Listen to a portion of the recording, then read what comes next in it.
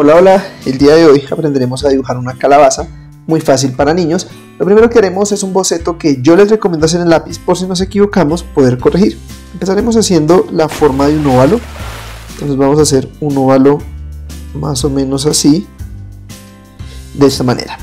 Ahora vamos a darle forma a, la calabaza, entonces vamos a sacar otro óvalo por este lado, así, pegado al otro y lo mismo por acá. Así vamos a hacer acá en la parte de arriba sacar dos líneas que se van cerrando y se curvean un poco más o menos así. Aquí cerramos para tener como la parte del tallo de nuestra calabaza. Y luego vamos a hacer por acá otra curva. Entonces vamos a sacar acá una curvita más o menos así y lo mismo por acá de esta manera. Ahora vamos a hacer aquí los detalles del rostro. Entonces voy a hacer una línea horizontal que divida el, digamos, el primer óvalo que hicimos por la mitad. Entonces la nariz vamos a hacer un triángulo hacia abajo y para los ojos vamos a hacer dos óvalos. Más o menos siguiendo el primer óvalo que hicimos y lo mismo por acá.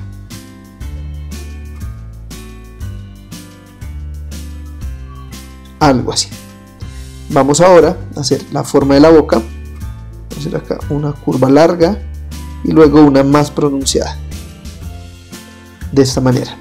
Aquí vamos a hacerle dos dientecitos y dos curvas como para dibujar la lengua. Ahora que ya hemos terminado nuestro boceto, vamos a tomar un marcador para empezar a hacer todos los detalles. Entonces acá vamos a hacer primero los óvalos así vamos ahora a hacer el otro ojito. Así. Vamos a hacer unos círculos en medio que van a ser las pupilas de nuestra calabaza. Vamos a agregarle acá unas curvas que parezca que tiene ojeras. Y luego vamos a hacer la nariz que es este triángulo al revés. Ahora vamos a hacer la boca. Vamos a hacer primero estos rectangulitos de la boca y luego si hacemos todo el contorno de la boca hasta acá así. Y luego vamos haciendo la formita de la boca así. Terminamos entonces haciendo la lengua. Entonces ya tendríamos todo el detalle digamos de la carita. Ahora vamos a hacer la parte digamos eh, del primer óvalo. Entonces esa no la vamos a hacer completa más o menos hasta acá. Así y lo mismo en la parte de arriba. Entonces hacemos primero por un lado y luego juntamos hacia el centro. Ahora vamos a sacar esta curva que esa sí va completa así. Y lo mismo por este lado. Entonces vamos bajando con calmita procurando no torcernos mucho. Y ahora vamos a hacer la última curva. Entonces